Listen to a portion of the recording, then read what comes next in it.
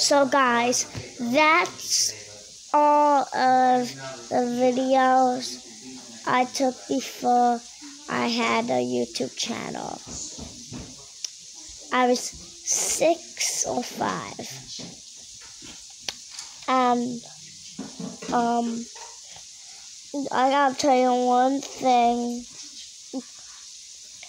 So, you don't notice, but some of my videos are videos that I took before my YouTube channel.